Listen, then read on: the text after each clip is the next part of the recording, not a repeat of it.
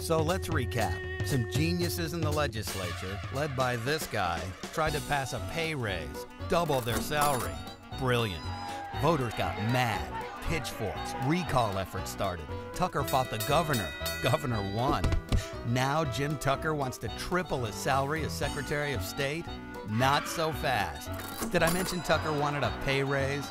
Here we go again. Jim Tucker, not for Secretary of State.